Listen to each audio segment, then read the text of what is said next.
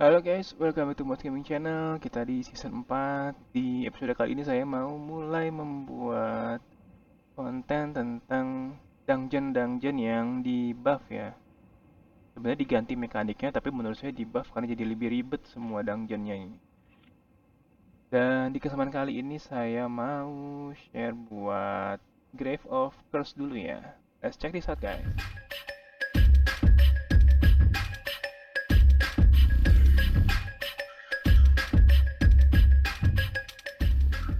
Oke, jadi yang ini baru hari kelima apa keempat gitu. Yang kebuka baru Venom sama Curse. Tapi di Grave of Venom itu saya baru bisa sampai level 4 ya. Saya belum punya equip tank yang oke buat nahan serangan bosnya. Dan jadi saya mau bikin konten buat Grave of Curse dulu karena di Grave of Curse saya malah udah bisa sampai level 6 7 masih belum karena hero-hero DPS-nya di ulti modar nah jadi di Grave of Curse ini dia udah nggak lagi ultimate-nya itu kalau misalnya ngasih damage akan dapat shield bosnya gitu. Kalau di sisa 1 sampai 3 kan gitu ya, mekanik intinya itu.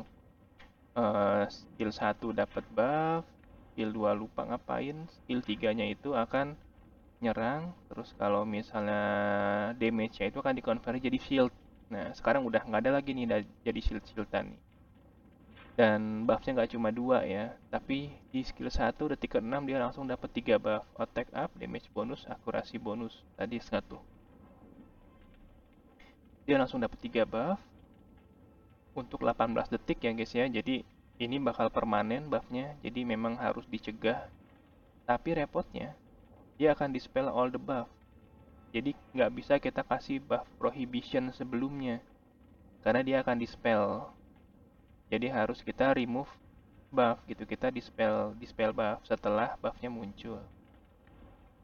Sayangnya di skill keduanya, dia akan steal dua buff dari musuh nyerangnya akan ke tank ya. Jadi tank kita bahaya nih kalau tank kita punya buff karena tanknya akan dihajar dan dicuri buffnya. Dan kalau dia punya buff, pasifnya ngerepotin. Setiap buff yang dia punya naikin recharge speednya 10%. Jadi di sini dia naik recharge speed 30%, di sini dia bisa naik recharge speed 20% kalau misalnya tank kita punya buff yang bisa dicuri sama dia. Dan setiap debuff yang kena ke kita itu nurunin recharge speednya 10% eh apa each debuff ya? Setiap debuff yang kena di dia berarti ya? Jadi kita harus ngasih dia debuff yang banyak setelah ini ya setelah dia nggak dispel dan harus mastiin dia nggak punya buff lama-lama. Ultimate-nya ngestun cuy ngestun semua teman-teman kita atau musuh-musuhnya dia ya hero-hero kita yang buffnya kurang dari dua. Kalau misalnya hero kita buffnya kurang dari dua bakal kena stun selama 5 detik. Dan di Xenosnya dapat 20% recharge progress dari setiap hero kita yang kena stun. Jadi PR-nya adalah nge-remove debuff di sini. Eh nge-remove buff ya nge-remove buff di sini terus habis itu mencegah dia jangan sampai dapat buff di detik ke-12 ini. Dan mastiin nggak ada yang kena stun.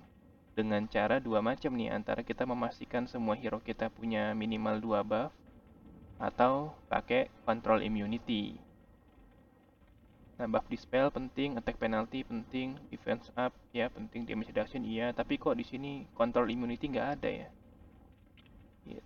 nah ada hero yang luar biasa banget jadi playmaker di Grave of Curse. Yang pertama adalah si Aladia ya. Karena Aladia punya control immunity. Gitu dan control immunity-nya ke semua teman-temannya. Jadi sebelum bosnya ultimate dan ngeluarin stun, kita kasih aja control immunity. Jadi nggak usah mastiin nggak usah uh, maksain semua hero punya buff minimal 2 tapi kita hajar aja control immunity gitu. Dan ini harus banget di build karena di Grave of Venom juga kepake banget sih ala dia dan semuanya pasti dapat dong di season 3 ya kali nggak dapat ala dia di season 3 bubar aja. Oke, jadi ini hero penting kita. Control immunity dan ngasih shield juga ya terus hero penting kedua adalah Perseus Perseus itu punya buff dispel nih. Nah, jadi di sini dia punya ultimate-nya itu ngedispel all buff. Jadi semua buff. Jadi banyak banget hero yang nggak terlalu oke okay, karena misalnya di sini nih kita cari dispel buff mana? Buff dispel. Kayak misalnya si Garika. Garika ngebuff dispel tapi cuma satu. Padahal kita butuhnya tiga langsung. Nih, Jor, Jor bagus nih. Dia bisa dispel semua buff tapi Yor nggak bisa saya pakai karena level skillnya belum oke okay. belum saya naikin level skillnya Jor bisa dipakai di sini Garika no di Victor Victor kayaknya bisa Victor ini convert dua buffnya ke random debuff tapi cuma dua ya Victor juga masih kurang sebenarnya. Karena bosnya itu ngasih tiga debuff langsung. Eh tiga buff langsung nih. Terus ini cuma dispel satu buff. Hmm, si Forest kayak ngedispel satu tapi itu pun uh, timingnya nggak bisa dipasin gitu.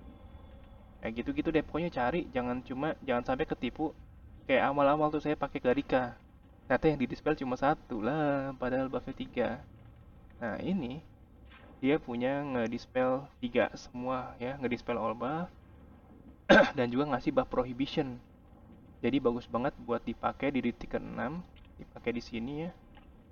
Setelah buffnya muncul, kita dispel terus nge-prohibition buff. Jadi di sini dia nggak bisa mencuri buff karena akan ada buff prohibition. Jadi dua hero ini selesai nih. Tinggal kita pasang healer sama DPS yang kira-kira cocok aja. Itu. Kekurangannya adalah nggak bisa di auto. Karena skill 2-nya si Perseus itu nge-reduce ultimate energi ini. Jadi saya juga masih bingung nih sebenarnya enaknya saya pakai siapa gitu. Karena yang bisa nge-dispel all buff itu cuma Jorn, Jorn yang sama-sama ngurangin ultimate energi atau Perseus. Tapi bedanya kalau si Jor cuma buat nge-remove doang. Nggak bisa nge-buff prohibition di skill 2. Sedangkan si Perseus ada buff prohibitionnya langsung. Jadi kita pakai defense aura dan langsung kita mulai ya gimana caranya di level 70 bisa hajar level 125. Let's go.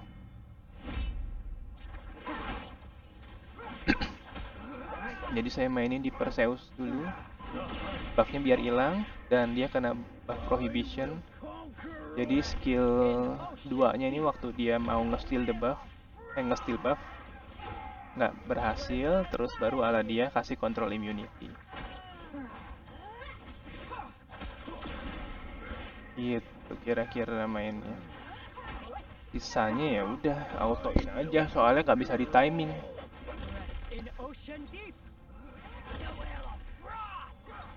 Coba dari kalian yang udah beresin Grave of Curse di season 4 ini pakai hero apa buat ngatasin si ini di bossnya Grave of Curse ini?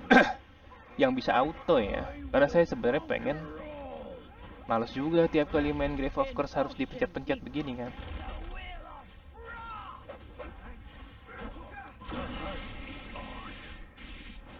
Cuma saya nggak nggak tahu lagi mau nge-remove buff 3 biji itu pakai hero apa. Tapi emang ini enak banget nih. Modal Perseus sama Aladia selesai gitu. Sisanya tinggal ngasih damage sama ngasih heal doang. Udah nggak pusing lagi. Pusingnya adalah mencet-mencet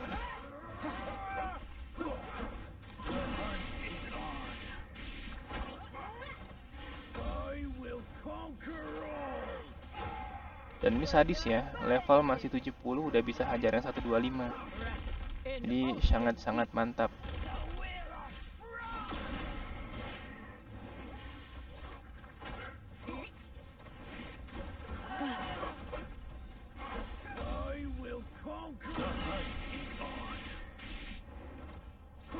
Nanti habis ini kita coba gas yang level 7.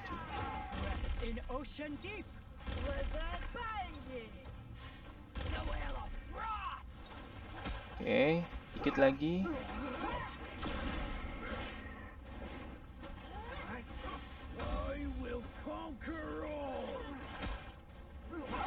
Mana buffnya munculkan buffnya oke. Okay. Ya harus pas buffnya muncul ya. Setelah buffnya muncul soalnya kalau kita kasih buff prohibition sebelum dia ngeluarin buff itu akan dispel buff prohibitionnya. Oke, okay. Defense persen dong, aduh resistance lagi. Coba kita tes ya. Kita tes di 140 pakai makanan defense accuracy coba kita tes kuat atau enggak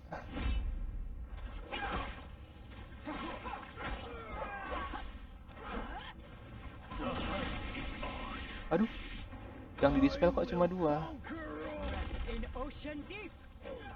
langsung mati dong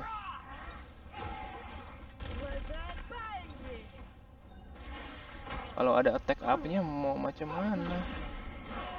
Hmm, langsung hilang kan? Akurasinya berarti masih kurang ya. Coba kita tes sekali lagi. Apakah itu sekedar apa saja? Nah hilang semua. Kalau berjalan sesuai rencana buffnya hilang semua